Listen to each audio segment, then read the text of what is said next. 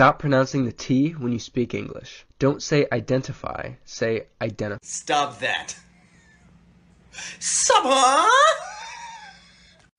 Wait. Wee! 2022.